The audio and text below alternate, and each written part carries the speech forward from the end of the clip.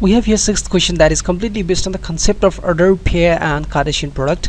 Uh, the question is saying if A cross B the Cartesian product of A and B set is these are individual sets alright set A and set B is PQ and then PR and then MQ and then MR right? And now the question is saying you uh, what is the set A and what is the set B?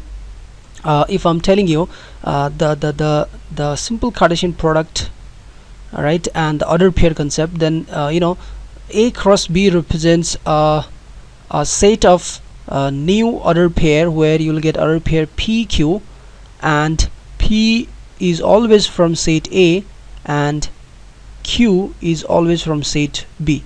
This was the Cartesian product's uh, definition you know it's completely based on the definition of the Cartesian product. So all the first element keep in mind all the first element will be from the first set alright first set A alright all the first element will be from the first set A and all the second element will be from the second set B alright? So set A represents here all the first element P P M M.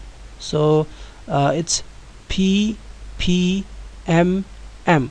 But in the theory of set you know what we had learned that the repetition of the elements is not allowed right? Here P is repeating twice M is repeating twice. So uh, the finally you can write that it is PM alright so the set A is PM similarly uh, let's write the set B. So B is the set of element which is in the second position in the order pair right? So Q R Q R.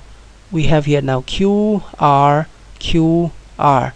And as I told you repetition is not allowed in set. So uh, it's gonna be Q and R simply. So we got our answer.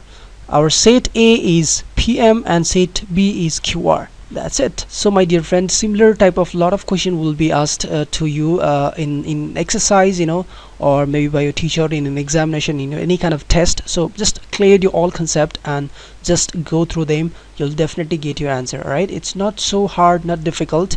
If there is any more confusion any doubt you need to ask me then please feel free to comment below this video. I will definitely uh, help you out. I will feel happy to reply you back. And uh, be confident always